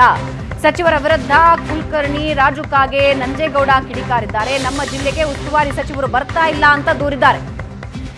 ಸಚಿವರಿಂದ ಯಾವುದೇ ಪ್ರಗತಿ ಪರಿಶೀಲನಾ ಸಭೆ ನಡೀತಾ ಇಲ್ಲ. ನಮ್ಮ ವರ್ಗಾವಣೆ ಶಿಫಾರಸುಗಳಿಗೆ ಬೆಲೆನೇ ಕೊಡ್ತಾ ಇಲ್ಲ ಅಂತ ಕಿಡಿಕಾರಿದ್ದಾರೆ. ಅನುದಾನ ಬಿಡುಗಡೆಗೆ ಸಚಿವರಿಗೆ ನೀವೇ ಖುದ್ದಾಗಿ ಹೇಳಿ. ಅನುದಾನ ಬಿಡುಗಡೆ ಮಾಡಿ ನಮ್ಮ ತಾಳ್ಮೆ ಪರೀಕ್ಷೆ ಮಾಡಬೇಡಿ. ಒಂದು ವರ್ಷ ಕಾದಿದ್ದೀವಿ, ಇನ್ನು ಕಾಯೋದಕ್ಕಾಗೋದಿಲ್ಲ ಅಂತ ಸಿಎಂ ಸಿದ್ದರಾಮಯ್ಯಗೆ ಶಾಸಕರು ಮನವಿ ಮಾಡಿಕೊಂಡಿದ್ದಾರೆ. ಸ್ಥಳೀಯ ಮಟ್ಟದಲ್ಲಿ ಕಾಂಗ್ರೆಸ್ ಬಗ್ಗೆ ಆಕ್ರೋಶ ಸೃಷ್ಟಿಯಾಗ್ತಾ ಇದೆ. ಆಕ್ರೋಶ ಭರಿತ ಶಾಸಕರನ್ನ ಸಮಾಧಾನ ಮಾಡೋದಕ್ಕೆ ಸಿಎಂ ಪ್ರಯತ್ನ ಪಟ್ಟರು ಶೀಘ್ರದಲ್ಲೇ ನಾನು ಅನುಮಾ ಅನುದಾನವನ್ನ ಬಿಡುಗಡೆ ಮಾಡಿಸ್ತೀನಿ ಅಂತ ಸಿದ್ದರಾಮಯ್ಯ ಅವರು ಭರವಸೆ ಕೊಟ್ಟಿದ್ದಾರೆ.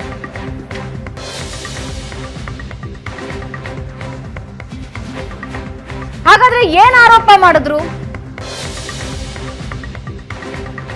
ಸಚಿವರ ಕೈಗೆ, ಸಚಿವರು ಕೈಗೆ ಸಿಗ್ತಾ ಇಲ್ಲ. ನಮ್ಮ ವರ್ಗಾವಣೆ ಶಿಫಾರಸುಗಳನ್ನ ಅವರು ಪರಿಗಣಿಸ್ತಾ ಇಲ್ಲ. ಶಾಸಕರು ಏನೇನ್ ದೂರು ಕೊಡ್ತಾ ಇದ್ದಾರೆ? ಸಚಿವರ ವಿರುದ್ಧ. ಕೈ ಶಾಸಕಾಂಗ ಸಭೆಯಲ್ಲಿ ಈ ಆರು ದೂರುಗಳು ಬಂದಿರೋದು, ಜಿಲ್ಲೆಗಳಿಗೆ ಉಸ್ತುವಾರಿ ಸಚಿವರು ಭೇಟಿನೂ ಕೊಡ್ತಾ ಇಲ್ಲ. ಜಿಲ್ಲೆಯಲ್ಲಿ ಯಾವ ಕೆಲಸನೂ ಆಗ್ತಾ ಇಲ್ಲ. ಇನ್ನು ಜಿಲ್ಲಾ ಮಟ್ಟದಲ್ಲಿ ಪ್ರಗತಿ ಪರಿಶೀಲನಾ ಸಭೆಗಳೇ ನಡೀತಾ ಇಲ್ಲ. ಇದರಿಂದ ಜನ ಸಿಟ್ಟಾಗ್ತಾ ಇದ್ದಾರೆ. ಏನೂ ಕೆಲಸಗಳಾಗ್ತಾ ಇಲ್ಲ ಅಂತ ಜನ ಸಿಟ್ಟಾಗಿದ್ದಾರೆ. ಏಳೆಂಟು ಸಚಿವರ ಕಾರ್ಯವೈಖರಿ ಸರಿಯಾಗಿಲ್ಲ. ಅವರನ್ನು ಬದಲಾವಣೆ ಮಾಡಿ ಬೇರೆಯವ್ರನ್ನ ತಗೊಂಡು ಬನ್ನಿ. ಇನ್ನು ಶಾಸಕರಿಗೆ ಅನುದಾನ ಕೊಡಿ. ಸಚಿವರಿಗೆ ಈ ಬಗ್ಗೆ ಸಿಎಂಎ ಸೂಚನೆ ಕೊಡ್ಲಿ. ಯಾಕಂದ್ರೆ ಅವ್ರು ನಮ್ಮ ಮಾತು ಕೇಳಿಸ್ಕೊಳ್ತಾ ಇಲ್ಲ ಅಂತ ಶಾಸಕರು ದೂರ್ತಾ ಇದ್ದಾರೆ. ಅಭಿವೃದ್ಧಿ ಕೆಲಸಗಳು ನಡೀತಾ ಇಲ್ಲ. ಸ್ಥಳೀಯ ಮಟ್ಟದಲ್ಲಿ ಕಾಂಗ್ರೆಸ್ಗೆ ಕೆಟ್ಟ ಹೆಸರು ಬರ್ತಾ ಇದೆ. ಯಾವುದೇ ಅಭಿವೃದ್ಧಿ ಕೆಲಸ ಆಗ್ತಾ ಇಲ್ಲ. ರಸ್ತೆ ನಿರ್ಮಾಣ ಆಗ್ತಾ ಇಲ್ಲ. ಚರಂಡಿ ವ್ಯವಸ್ಥೆಗೆ ಹೊಸ ಯೋಜನೆಗಳನ್ನು ತರೋದಕ್ಕಾಗ್ತಾ ಇಲ್ಲ. ನಮ್ಮ ನಮ್ಮ ಕ್ಷೇತ್ರದಲ್ಲಿ ಜನರಿಗಾಗಿ ಕೆಲಸ ಮಾಡಬೇಕು ಅಂದರೆ ಅನುದಾನ ಬೇಕು. ಆ ಅನುದಾನ ಕಳೆದ ಒಂದು ವರ್ಷದಿಂದ ಬಂದಿಲ್ಲ. ಈಗಲಾದರೂ ಕೊಡಿ, ಎಲೆಕ್ಷನ್ ಮುಗಿದಿದೆ ಅಂತಿದ್ದಾರೆ. ಇನ್ನು ಶಾಸಕಾಂಗ ಸಭೆ. ಅನುದಾನ ಸಮರ ಜೋರಾಗಿ ನಡೀತಾ ಇತ್ತು. ಅನುದಾನ ಸಮರ ಗ್ಯಾರಂಟಿ ಕಾರಣದಿಂದ ಇವೆಲ್ಲ ಆಗ್ತಾ ಇದೆ ಅಂತ ತಮ್ಮ ಅಸಮಾಧಾನನ ಶಾಸಕರು ಹೊರಹಾಕಿದ್ರು. ನಿರೀಕ್ಷಿತ ಯಾಕೆಂದ್ರೆ ಸರ್ಕಾರ ಅಧಿಕಾರಕ್ಕೆ ಬಂದ ಮೇಲೆ ಸದ್ಯಕ್ಕೆ ಒಂದು ವರ್ಷ ನೀವ್ ಯಾರೂ ಅನುದಾನ ಕೇಳಬೇಡಿ, ಗ್ಯಾರಂಟಿ ಯೋಜನೆಗಳ ಅನುಷ್ಠಾನವೇ ಮುಖ್ಯ ಅಂತ ಸಿದ್ದರಾಮಯ್ಯ ಅವರೇ ಹೇಳಿಬಿಟ್ಟಿದ್ರು. ಈಗ ಗ್ಯಾರಂಟಿ ಅನುಷ್ಠಾನ ಆಗಿದೆ ಲೋಕಸಭಾ ಚುನಾವಣೆಯಲ್ಲಿ. ಇದು ದೊಡ್ಡ ಮಟ್ಟಕ್ಕೆ ಯಶಸ್ಸು ತರುತ್ತೆ ಅಂತ ಅಂದುಕೊಂಡಿದ್ರು, ಅದಾಗಲಿಲ್ಲ. ಈಗ ಒಂದು ವರ್ಷ ಆಗಿದೆ ಎಲೆಕ್ಷನ್ ಮುಗಿದಿದೆ, ಈಗ ಕೆಲಸ ಶುರು ಆಗಬೇಕಾಗಿದೆ. ಗ್ಯಾರಂಟಿ ನೀಡಿದ್ರು ಲೋಕಸಭಾ ಚುನಾವಣೆಯಲ್ಲಿ ಅದರ ಲಾಭ ಆಗಿಲ್ಲ, ಉಚಿತ ಯೋಜನೆಗಳಿಗಿಂತ ಅಭಿವೃದ್ಧಿ ಕೆಲಸಕ್ಕೆ ಈಗ ಒತ್ತು ಕೊಡಬೇಕು. ಅನುದಾನ ಕೇಳಿದ್ರೆ ಸಚಿವರು ಶಾಸಕರ ಮನವಿಗೆ ಬೆಲೆ ಕೊಡ್ತಾ ಇಲ್ಲ. ಸರ್ಕಾರ ಬಂದಾಗಿನಿಂದ ಅಭಿವೃದ್ಧಿಗೆ ಆರ್ಥಿಕ ನೆರವು ಸಿಗ್ತಾ ಇಲ್ಲ. ನಮ್ಮ ಕ್ಷೇತ್ರದಲ್ಲಿ ಜನರಿಗೆ ಮುಖ ತೋರಿಸೋದು ಕಷ್ಟ ಆಗ್ತಾ ಇದೆ. ಅನುದಾನ ಬಿಡುಗಡೆಗೆ ಸಚಿವರಿಗೆ ಸಿಎಂ ಸೂಚನೆ ಕೊಡಬೇಕು. ಶಾಸಕಾಂಗ ಸಭೆಯಲ್ಲಿ ಕೈ ನಾಯಕರು ಒಕ್ಕೊರಲ ಮನವಿ ಮಾಡಿಕೊಂಡಿದ್ದಾರೆ.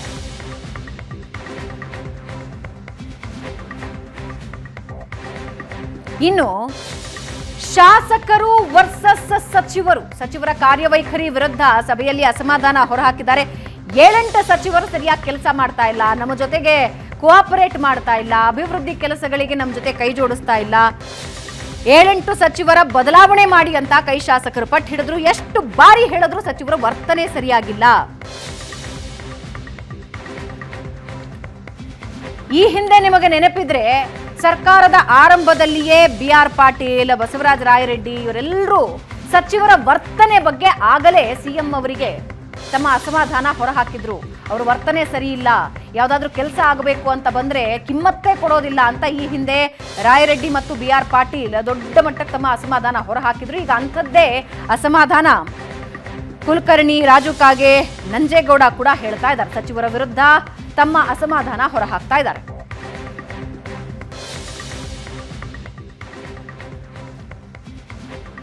ಎಸ್, ಈ ಬಗ್ಗೆ ಇನ್ನಷ್ಟು ಡೀಟೇಲ್ಸ್ ಅನ್ನ ನಮ್ಮ ಜೊತೆ ಹಂಚ್ಕೊಳ್ತಾರೆ. ಒಂದ್ ಕಡೆ ಮಾರುತೇಶ್ ನಮ್ಮ ಪ್ರತಿನಿಧಿ ಲೈವ್ನಲ್ಲಿ ಜಾಯ್ನ್ ಆಗ್ತಾ ಇದ್ದಾರೆ. ನಮ್ಮ ರಾಜಕೀಯ ವಿಶ್ಲೇಷಕರಾದ ಪ್ರಶಾಂತ್ ನಾಥು ಇದ್ದಾರೆ. ಇಬ್ಬರಿಗೂ ಕಾರ್ಯಕ್ರಮಕ್ಕೆ ಸ್ವಾಗತ. ಮೊದಲಿಗೆ ನಾನು ಮಾರುತೇಶ್ನ ಮಾತಾಡಿಸ್ತೀನಿ. If he is connected yes Maruthesh ಇದು ಕಳೆದ ವರ್ಷವೂ ಕೂಡ ಇತ್ತು, ಈಗ ಪುನರಾವರ್ತನೆ ಆಗಿದೆ ಆದರೆ ಈ ಬಾರಿ ಇಟ್ ಇಸ್ ಮೋರ್ ಸೀರಿಯಸ್ ಕಳೆದ ಬಾರಿ ಒಂದು ಟಾಸ್ಕ್ ಇತ್ತು ಗ್ಯಾರಂಟಿ ಯೋಜನೆಗಳ ಅನುಷ್ಠಾನ ಮಾಡಬೇಕಿತ್ತು, ಲೋಕಸಭಾ ಎಲೆಕ್ಷನ್ ಗೆಲ್ಲಬೇಕಿತ್ತು. ಆದರೆ ಈಗ ಅಭಿವೃದ್ಧಿ ಕಾರ್ಯಗಳ ಬಗ್ಗೆ ಯೋಚನೆ ಮಾಡಲೇಬೇಕು. ಶಾಸಕರು ಈ ಅಸಮಾಧಾನ ವ್ಯಕ್ತಪಡಿಸಿದ್ದಾರೆ. ಇದರ ಜೊತೆ ಜೊತೆಗೆ ಸಚಿವರ ಬದಲಾವಣೆಗೆ ಒತ್ತಡ ಕೇಳಿ ಬರ್ತಾ ಇದೆ. ಏನೇನಾಯ್ತು? ಏನೇನು ಆರೋಪ ಮಾಡಿದ್ರು ಶಾಸಕರು?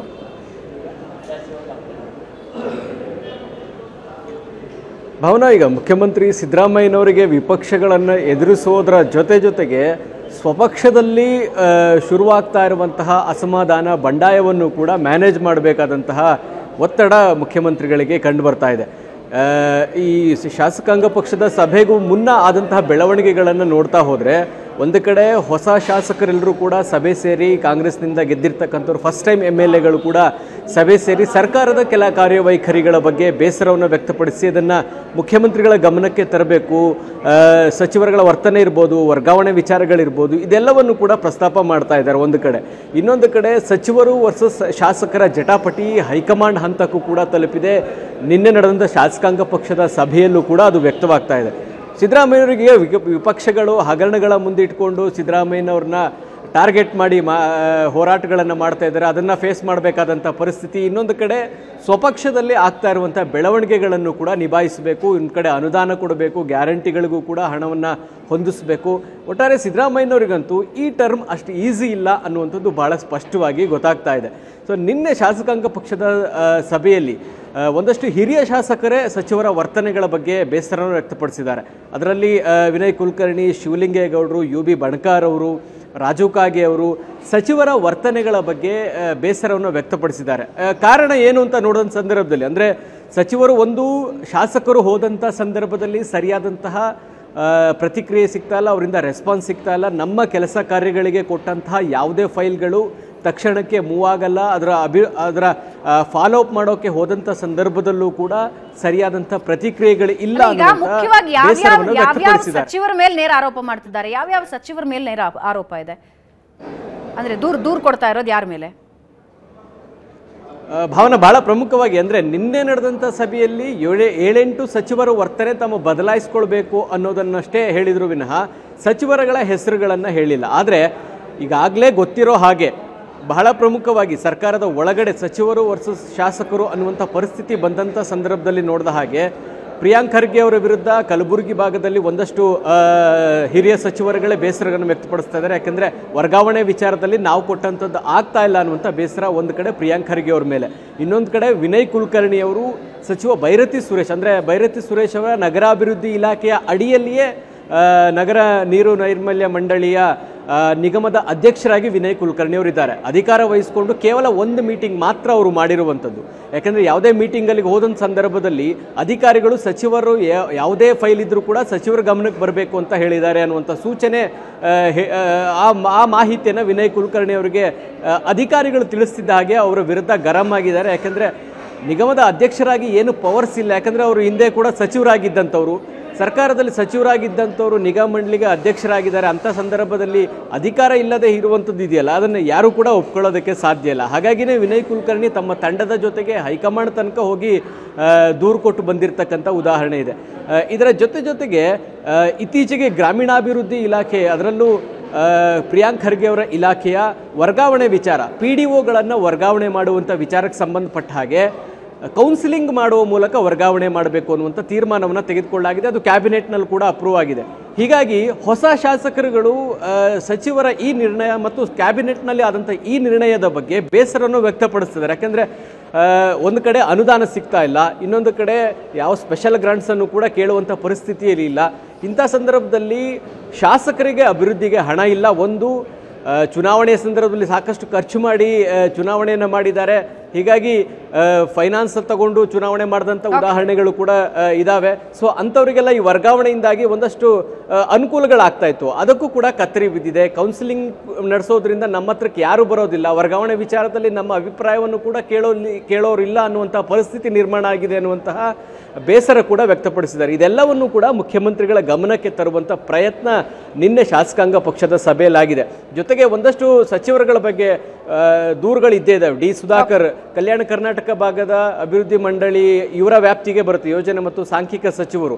ಅನುದಾನ ಬಿಡುಗಡೆ ಆಗ್ಬೇಕಂದ್ರೆ ಇವ್ರ ಹತ್ರ ಸೈಕಲ್ ಹೊಡಿಬೇಕು ಅನ್ನುವಂತಹ ವಿಚಾರಗಳಿದಾವೆ. ಹಾಗಾಗಿ ಇದನ್ನೆಲ್ಲ ಬಗೆಹರಿಸದೆ ಹೋದ್ರೆ ಮುಂದಿನ ದಿನಗಳಲ್ಲಿ ಪರಿಸ್ಥಿತಿ ಕೆಟ್ಟ ಕೆಟ್ಟ ಇನ್ನೂ ಕೆಟ್ಟ ಕೆಟ್ಟದಾಗಿರುತ್ತೆ. ಹೀಗಾಗಿ ನಾವು ನಾವು ನಮ್ಮ ತಾಳ್ಮೆಯನ್ನು ಕೂಡ ಪರೀಕ್ಷೆ ಮಾಡಬೇಡಿ ಎನ್ನುವಂತಹ ಸೂಚನೆಯನ್ನು ನಿನ್ನೆ ಸಭೆಯಲ್ಲಿ ಹೇಳಿರುವಂಥದ್ದು ಭವನ. ಹಾಗಾಗಿ ಮುಖ್ಯಮಂತ್ರಿಗಳು ಇದನ್ನ ನಿಭಾಯಿಸಲೇಬೇಕಾದಂತ ಅನಿವಾರ್ಯತೆ ಇದೆ. ಸಚಿವರ ಒಂದು ಸಭೆ ಕರೆದು ಒಂದು ಇನ್ಸ್ಟ್ರಕ್ಷನ್ಸ್ ಕೂಡ ಕೊಡ್ತಾರೆ ಅನ್ನುವಂಥ ಮಾಹಿತಿಗಳು ಲಭ್ಯವಾಗ್ತಾ ಇದಾವೆ ಭಾವನಾ. ರೈಟ್ ಮಾರುತೇಶ್ ವಾಪಸ್ ಬರ್ತೀನಿ ನಿಮ್ಮ ಜೊತೆ ಮಾತಾಡ್ತೀನಿ. ಪ್ರಶಾಂತ್, ಈಗ ಸರ್ಕಾರದ ಪರಿಸ್ಥಿತಿ, ಸಿದ್ದರಾಮಯ್ಯ ಅವ್ರ ಪರಿಸ್ಥಿತಿ ಹೆಂಗಿದೆ ಅಂದ್ರೆ ಅತ್ತದರಿ ಇತ್ತ ಪುಲಿ ಅನ್ನೋ ಹಾಗಾಗಿದೆ. ಒಂದು ಕಡೆ ಈ ಕಡೆ ಹೋದ್ರೆ ಮೂಡ ಹಗರಣ, ವಾಲ್ಮೀಕಿ ಹಗರಣ, ಪ್ರತಿಪಕ್ಷಗಳ ವಿರೋಧ ಇವನ್ನ ಹ್ಯಾಂಡಲ್ ಮಾಡ್ತಾ ಇದ್ದಾರೆ.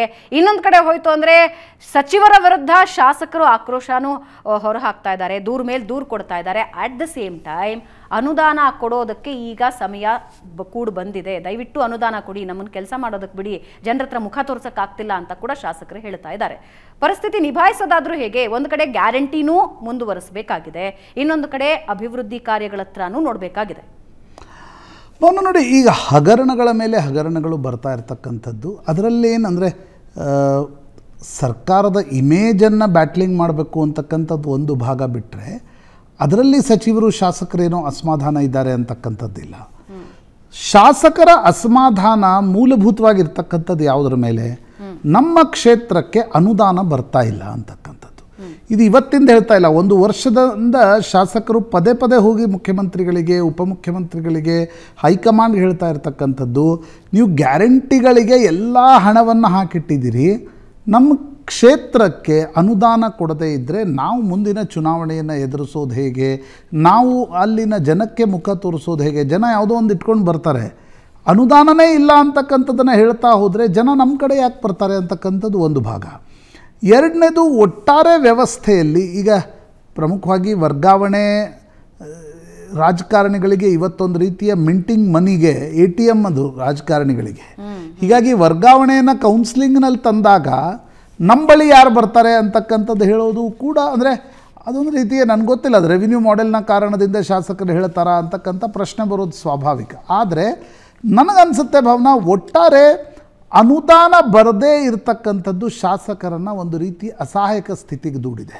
ಸರ್ಕಾರ ಇದರಲ್ಲಿ ಮಧ್ಯಮ ಮಾರ್ಗವನ್ನು ಅನುಸರಿಸುತ್ತಾ ಕೊಟ್ಟಿರ್ತಕ್ಕಂಥ ಗ್ಯಾರಂಟಿಗಳನ್ನು ಸ್ಟ್ರೀಮ್ಲೈನ್ ಮಾಡಿ ಕೇವಲ ಒಂದು ಟಾರ್ಗೆಟೆಡ್ ಗ್ರೂಪ್ಗೆ ಗ್ಯಾರಂಟಿಗಳನ್ನು ಕೊಡ್ತ, ಕೊಡ್ತೀವಿ ಅಂತಕ್ಕಂಥ ಘೋಷಣೆ ಮಾಡುತ್ತಾ ಅದು ಅಷ್ಟು ಸುಲಭನಾ ಅನ್ನೋದು ಕೂಡ ಪ್ರಶ್ನೆ. ಆದರೆ ಎಲ್ಲೋ ಒಂದು ಕಡೆ ಮುಂದೆ ನಾಲ್ಕು ವರ್ಷ ಮಾತ್ರ ಉಳಿಯಿತು, ಜಿಲ್ಲಾ ಪಂಚಾಯತ್, ತಾಲೂಕ್ ಪಂಚಾಯತ್ ಚುನಾವಣೆಗಳು ಈ ವರ್ಷ ನಡಿಬೇಕು, B B B M P ಚುನಾವಣೆ ನಡಿಬೇಕು. ಆ ಸಂದರ್ಭದಲ್ಲಿ ಸರ್ಕ್, ಸರ್ಕಾರ ಭರವಸೆ ಕೊಟ್ಟಂತೆ ಶಾಸಕರಿಗೆ ಕ್ಷೇತ್ರಕ್ಕೆ ಅನುದಾನವನ್ನು ಕೊಡುತ್ತಾ ಅದಕ್ಕೆ ಹಣವನ್ನು ಹೇಗೆ ಹೊಂದಿಸುತ್ತೆ? ಗ್ಯಾರಂಟಿಗಳ ಒತ್ತಡ ಮತ್ತು ಭಾರವನ್ನು ಹೇಗೆ ಕಡಿಮೆ ಮಾಡಿಕೊಳ್ಳುತ್ತೆ? ಇದು ಸರ್ಕಾರದ ಮುಂದಿರ್ತಕ್ಕಂಥ ಒಂದು ದೊಡ್ಡ ಪ್ರಶ್ನೆ ಮತ್ತು ದೊಡ್ಡ ಸವಾಲು ಕೂಡ ಹೌದು. ಇದನ್ನೇ ಶಾಸಕಾಂಗ ಪಕ್ಷದ ಸಭೆಯಲ್ಲಿ ಪದೇ ಪದೇ ಶಾಸಕರು ಪ್ರಸ್ತಾಪಿಸ್ತಾ ಇರತಕ್ಕಂಥ ಅಂಶ. ಖಾಸಗಿಯಾಗಿ ಕೂಡ ನೀವು ಕಾಂಗ್ರೆಸ್ ಶಾಸಕರನ್ನು ಕೇಳಿ ನೋಡಿ, ಅವರು ಇರೋ ಗ್ರೀವಿಯನ್ಸಸ್ ಒಂದೇ. ಗ್ಯಾರಂಟಿಗಳ ಒತ್ತಡದ ಕಾರಣದಿಂದ ನಮ್ಗೆ ಅನುದಾನ ಸಿಗ್ತಾ ಇಲ್ಲ. ಅನುದಾನ ಸಿಗದೆ ಹೋದರೆ ನಾವು ಶಾಸಕರಾಗಿ ಕ್ಷೇತ್ರದಲ್ಲಿ ಹೇಗೆ ಕೆಲಸ ಮಾಡೋದು? ಹೇಗೆ ಅಭಿವೃದ್ಧಿ ಕೆಲಸಗಳಿಗೆ ಹಣ ತರದೆ ಹೋದರೆ ಜನ ನಮ್ಮನ್ನು ಏನು ಅಂದ್ಕೊಂಡಾರು? ಈ ಪ್ರಶ್ನೆ ಶಾಸಕರನ್ನು ಕಾಡ್ತಾ ಇದೆ. ಅದನ್ನು ಶಾಸಕಾಂಗ ಪಕ್ಷದ ಸಭೆಯಲ್ಲಿ ಪದೇ ಪದೇ ಪ್ರಸ್ತಾಪಿಸ್ತಾ ಇದ್ದಾರೆ. ಆದರೆ ಗ್ಯಾರಂಟಿಗಳ ಒತ್ತಡ ಕಡಿಮೆ ಮಾಡ್ಕೊಳ್ಳೋದು, ಭಾರ ಕಡಿಮೆ ಮಾಡೋದು ಅಷ್ಟು ಸುಲಭನಾ? ಅಂದುಕೊಂಡಂತೆ ಈಗ ಕಾಕಾ ಸಾಹೇಬ್ ಪಾಟೀಲ್ರಿಗೂ ಕೊಡ್ತೀನಿ ಅಂತ ಸಿದ್ದರಾಮಯ್ಯನವರು ಹೇಳಿದರು. ಈಗ ಏಕಾಏಕಿ ನೀವು ಅಡ್ ಅಡ್ವಾಂಟೇಜ್ ಗ್ರೂಪನ್ನು ಬಿಟ್ಟು ಬರೀ ಡಿಸ್ಅಡ್ವಾಂಟೇಜ್ ಗ್ರೂಪ್ಗೆ ಕೊಡ್ತೀನಿ ಅಂತ ಹೊರಟ್ರೆ ಮಾನದಂಡ ಏನು? B P L cannot be a criteria ಯಾಕಂದರೆ ಬಿ ಪಿ ಎಲ್ನಲ್ಲೇ ಅನೇಕ ಆಕ್ರಮಗಳು ಅನಧಿಕೃತವಾಗಿರ್ತಕ್ಕಂಥ ಒಂದು ಬಿ ಪಿ ಎಲ್ ಕಾರ್ಡ್ಗಳು ಬಂದು ಎಂಬತ್ತು ಪರ್ಸೆಂಟ್ ಜನ B P L card holders ಇದ್ದಾರೆ ಸೊ ಎಂಬತ್ತು ಪರ್ಸೆಂಟ್ ಜನರಿಗೆ ನೀವು ಕೊಡ್ತೀರಾ?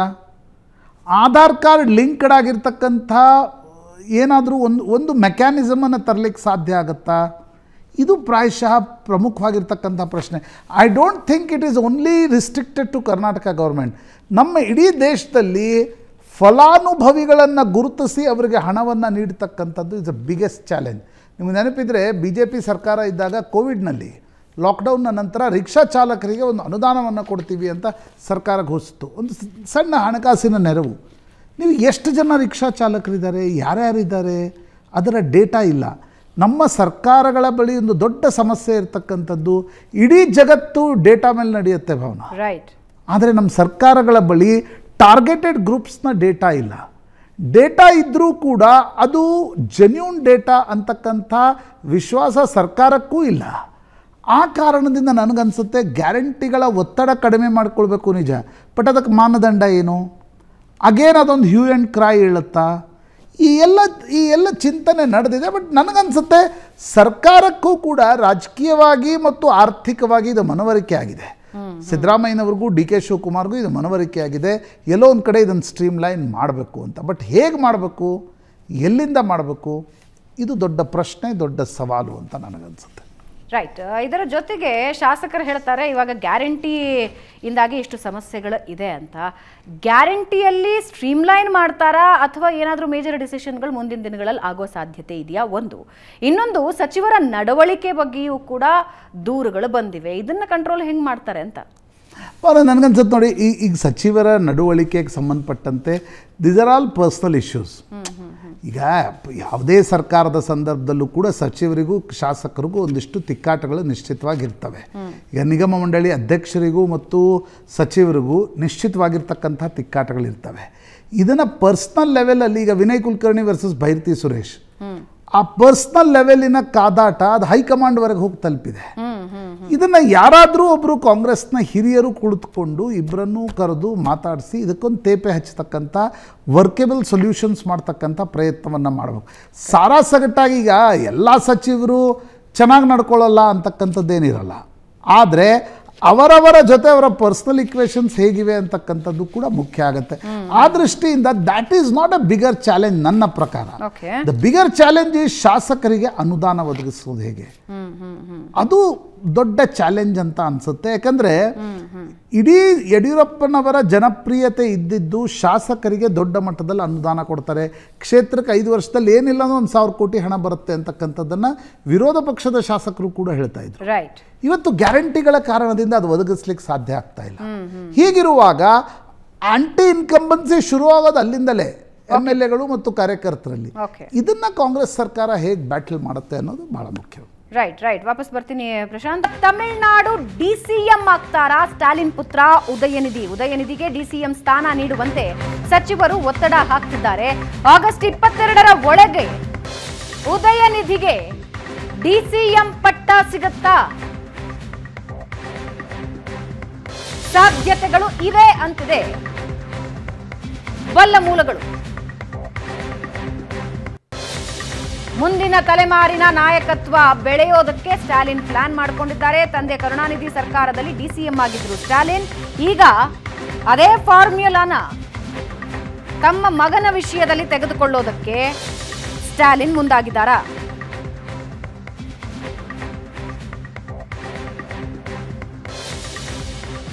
ಸಿಎಂ ಸ್ಟಾಲಿನ್ ಅಮೆರಿಕ ಪ್ರವಾಸಕ್ಕೂ ಮುಂಚೆ ಡಿಸಿಎಂ ಸ್ಥಾನ ನೀಡ್ತಾರಾ? ಉದಯನಿಧಿ ಸ್ಟಾಲಿನ್ಗೆ.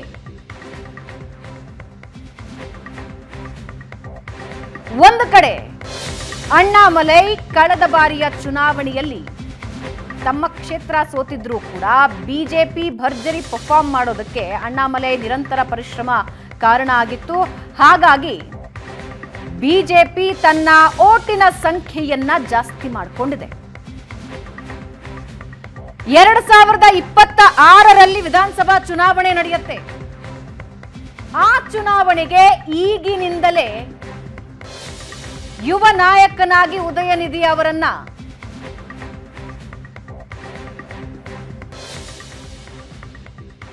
ಆಯ್ಕೆ ಮಾಡ್ಕೊಳ್ಳೋದಕ್ಕೆ, ಡಿ ಸಿ ಎಂ ಸ್ಥಾನ ನೀಡೋದಕ್ಕೆ ರೆಡಿ ಆಗ್ತಾ ಇದ್ದಾರೆ ಸ್ಟಾಲಿನ್. ಎಸ್, ಈ ಬಗ್ಗೆ ಇನ್ನಷ್ಟು ಡೀಟೇಲ್ಸ್ ಹಂಚ್ಕೊಳ್ತಾರೆ ನಮ್ಮ ರಾಜಕೀಯ ವಿಶ್ಲೇಷಕರಾದ ಪ್ರಶಾಂತ್ ನಾಥ್ ಇದ್ದಾರೆ. ಪ್ರಶಾಂತ್, ಎರಡ್ ಸಾವಿರದ ಇಪ್ಪತ್ತ ಆರರ ವಿಧಾನಸಭಾ ಎಲೆಕ್ಷನ್ ಬರ್ತಾ ಇದೆ. ಈ ಹಿನ್ನೆಲೆಯಲ್ಲಿ ನೋಡೋದಾದ್ರೆ, ಸ್ಟಾಲಿನ್ ಈ ನಿರ್ಧಾರದ ವಿವರ ತಿಳಿಸೋದಾದ್ರೆ. ನೋಡಿ, ಈಗ ಮೊನ್ನೆಯ ಲೋಕಸಭಾ ಚುನಾವಣೆಯ ಫಲಿತಾಂಶವನ್ನು ತೆಗೆದುಕೊಂಡಾಗ ಅಣ್ಣಾಮಲೈ ಏಕಾಂಗಿಯಾಗಿ ಡಿ ಎಂ ಕೆನ ಏನೋ ಚಾಲೆಂಜ್ ಮಾಡಿಬಿಟ್ರು ಅಂತ ಅನ್ನಿಸ್ಲಿಲ್ಲ ಮೋದಿಯ ಕಾರಣದಿಂದ ಬಿ ಜೆ ಪಿಯ ವೋಟ್ ಶೇರ್ ಜಾಸ್ತಿ ಆಯಿತು. ಆದರೆ ಅದು ಸೀಟಾಗಿ ಕನ್ವರ್ಟ್ ಮಾಡಲಿಕ್ಕೆ ಅಣ್ಣಾಮಲೈಗೂ ಕೂಡ ಸಾಧ್ಯ ಆಗಲಿಲ್ಲ. ಅವರ ಪರಿಶ್ರಮ ಇತ್ತು, ಆದರೆ ಅದು, ಅದಕ್ಕೆ ಯಶಸ್ಸು ಸಿಗಲಿಲ್ಲ. ಇನ್ನೊಂದು ಕಡೆ ಡಿ ಎಂ ಕೆ ತನ್ನ ವೋಟ್ ಬ್ಯಾಂಕನ್ನು ಉಳಿಸ್ಕೊಂತು, ಪ್ರತಿಶತ ವೋಟನ್ನು ಉಳಿಸ್ಕೊಂತು, ಸೀಟನ್ನು ಕೂಡ ದೊಡ್ಡ ಪ್ರಮಾಣದಲ್ಲಿ ಗೆತ್ತು. ಇವತ್ತು I N D I A ಒಕ್ಕೂಟ ಏನಿದೆ, ಅದರಲ್ಲಿ ಡಿ ಎಂ ಕೆ ಒಂದು ಪ್ರಮುಖ ಪಾತ್ರವನ್ನು ವಹಿಸುವ ಸ್ಥಿತಿ ಇದೆ. ಆದರೆ ಎರಡು ಸಾವಿರದ ಇಪ್ಪತ್ತಾರರ ಚುನಾವಣೆಯಲ್ಲಿ ಅಣ್ಣಾಮಲೈ ಅವರ ಬಿ ಜೆ ಪಿ ಮತ್ತು A I A D M K ಪುನರಪ್ಪಿ ಒಟ್ಟಾಗಿ ಬರುವ ಸಾಧ್ಯತೆಗಳು ಸ್ಪಷ್ಟವಾಗಿ ಕಾಣ್ತಾ ಇವೆ. ಯಾಕಂದರೆ ಬಿ ಜೆ ಪಿಗೂ ಕೂಡ ಇದು ಮನದಟ್ಟಾಗಿದೆ, A I A, D M ಕೆಗೂ ಮನದಟ್ಟಾಗಿದೆ. ಜೊತೆಗೆ ಬರದೇ ಹೋದರೆ ಡಿ ಎಂ ಕೆನ ಎದುರಿಸಲಿಕ್ಕೆ ತಮಿಳುನಾಡಿನಲ್ಲಿ ಸಾಧ್ಯ ಆಗಲ್ಲ ಅಂತಕ್ಕಂಥದ್ದು. ಹೀಗಾಗಿ ಅವರು ಒಟ್ಟಿಗೆ ಬರಬಹುದಾ ಅಂತಕ್ಕಂಥ ಚರ್ಚೆಗಳು ನಡೀತಾ ಇವೆ. ಆದರೆ ಅಂಥ ಯಾವುದೇ ಬೆಳವಣಿಗೆಗಳು ಮೇಲ್ನೋಟಕ್ಕೆ ಕಾಣ್ತಾ ಇಲ್ಲ. ಇನ್ನೊಂದು ಕಡೆ ನನಗನ್ಸುತ್ತೆ, ಅಣ್ಣಾಮಲೈಯನ್ನು ಎದುರಿಸೋದಕ್ಕಿಂತ ತನ್ನ ಪುತ್ರನನ್ನು ಮುಂದಿನ ಮುಖ್ಯಮಂತ್ರಿಯನ್ನಾಗಿ ಮಾಡಬೇಕು ತನ್ನ ಉತ್ತರಾಧಿಕಾರಿಯನ್ನಾಗಿ ಮಾಡಬೇಕು ಅಂತಕ್ಕಂಥದ್ದು M K Stalin almost has taken a decision Udhayanidhi Stalin ಕೆಲ ವರ್ಷಗಳ ಹಿಂದೆ ಒಂದು ಸಿನಿಮಾದಲ್ಲಿ ಅವರು ನಾಯಕ ನಟರಾಗಿ ನಟಿಸಿದ್ರು. ಅದಾದ ನಂತರ ಉದಯನಿಧಿ ಸ್ಟಾಲಿನ್ ಪಾಲಿಟಿಕ್ಸ್ಗೆ ಬಂದರು ವಿಧಾನಸಭೆಯಲ್ಲೂ ಕೂಡ ಆಯ್ಕೆಯಾಗಿದ್ದಾರೆ. ಈಗ ಉದಯನಿಧಿ ಸ್ಟಾಲಿನ್ರನ್ನು ಉಪಮುಖ್ಯಮಂತ್ರಿ ಮಾಡಬೇಕು ಅಂತಕ್ಕಂಥ ಒಂದು ಚರ್ಚೆ ಸ್ಟಾಲಿನ್ ಆಪ್ತ ಬಳಗದಲ್ಲಿ ನಡೀತಾ ಇದೆ ಮತ್ತು ಸ್ಟಾಲಿನ್ ಕೂಡ ಪಕ್ಷದ ಹಿರಿಯ ನಾಯಕರನ್ನು ಕನ್ಸಲ್ಟ್ ಮಾಡಿ ಉದಯನಿಧಿ ಸ್ಟಾಲಿನ್ರಿಗೆ ಉಪಮುಖ್ಯಮಂತ್ರಿ ಸ್ಥಾನವನ್ನು. ಯಾಕಂದರೆ ಹಿಂದೆ ಏನಾಯಿತು? ಕರುಣಾನಿಧಿ ಮುಖ್ಯಮಂತ್ರಿ ಆಗಿರ್ತಕ್ಕಂಥ ಸಂದರ್ಭದಲ್ಲಿ ಭಾವನಾ, ಅಳಗಿರಿ ಮತ್ತು ಸ್ಟಾಲಿನ್ ಕನಿಮೋಲಿ ಈ ಮೂವರ ನಡುವೆ ಒಂದು ಪೈಪೋಟಿ ಇತ್ತು. ಆಗ ಅಲಗಿರಿ ಮಧುರೈಯನ್ನು ನೋಡ್ಕೊಳ್ತಾ ಇದ್ರು. ಅಲಗಿರಿ ಮತ್ತು ಸ್ಟಾಲಿನ್ ನಡುವೆ ಈ ಮಟ್ಟದ ಪೈಪೋಟಿ ನಡು, ನಡೀತು ಅಂದರೆ ಒಂದು ಪೇಪರ್ ಆಫೀಸನ್ನು ಕೂಡ ಸುಟ್ಟು ಹಾಕಬೇಕಾಯಿತು. ಸುಟ್ಟು ಹಾಕಲಾಯಿತು. ಅಲ್ಲಿಯವರೆಗಿನ ಜಗಳದ ನಂತರ ಅಲಗಿರಿ ಬೇರೆಯಾದರೂ ಸ್ಟಾಲಿನ್ ಕರುಣಾನಿಧಿಯವರ ಉತ್ತರಾಧಿಕಾರಿಯಾಗಿ ಆಯ್ಕೆ ಆದರು. ಆ ರೀತಿಯ ಪೈಪೋಟಿಯನ್ನು ಮೊದಲೇ ಚಿವುಟ್ ಹಾಕುವುದಕ್ಕೋಸ್ಕರ ಸ್ಟಾಲಿನ್ ತನ್ನ ಪುತ್ರ ಉದಯನಿಧಿಯನ್ನು ಈಗಾಗಲೇ ನಾಯಕ ಅಂತಕ್ಕಂಥ ರೀತಿಯಲ್ಲಿ ಬಿಂಬಿಸಿದ್ದಾರೆ. ಅವರ ಸನಾತನದ ವಿರುದ್ಧದ ಹೇಳಿಕೆಯನ್ನು ಅನೇಕರು ಹೇಳ್ತಾ ಇದ್ರು. ದ್ಯಾಟ್ ಈಸ್ ಟು ಎಸ್ಟಾಬ್ಲಿಷ್ ಸ್ಟಾಲಿನ್ನಿಂದ ಡಿ ಎಂ ಕೆ ಕೇಡರ್ ಅನ್ನೋದು. ಆ ಕಾರಣದಿಂದ ಅನಿಸುತ್ತೆ ಬಹುತೇಕ ಈ ವರ್ಷವೇ ಎಂ ಕೆ ಸ್ಟಾಲಿನ್ ತನ್ನ ಪುತ್ರನನ್ನು ಉಪಮುಖ್ಯಮಂತ್ರಿಯನ್ನಾಗಿ ನೇಮಿಸ್ತಾರೆ. ಹಿಂದೆ ಕರುಣಾನಿಧಿ ಸ್ಟಾಲಿನ್ರನ್ನು ಚೆನ್ನೈನ ಮೇಯರ್ ಆಗಿ ನೇಮಿಸಿ ನಂತರ ರಾಜಕಾರಣಕ್ಕೆ ತಂದರು. ಅದೇ ರೀತಿ ಬಹುತೇಕ ನಡೆಯುವ ಸಾಧ್ಯತೆಗಳಿವೆ ಅನ್ನೋದನ್ನು ಡಿ ಎಂ ಕೆ ಪಾರ್ಟಿ ಮೂಲಗಳು ಹೇಳ್ತಾ ಇವೆ. ರೈಟ್ ರೈಟ್ ಪ್ರಶಾಂತ್ ಧನ್ಯವಾದ. ಪಾರ್ಟಿ ರೌಂಡ್ಸ್ನಲ್ಲಿ ಭಾಗಿಯಾಗಿದ್ದಕ್ಕೆ ವೀಕ್ಷಕರೇ ಇದೇ ಸುದ್ದಿಯೊಂದಿಗೆ ಇವತ್ತಿನ ಪಾರ್ಟಿ ರೌಂಡ್ಸ್ ಮುಗಿಸೋ ಸಮಯ.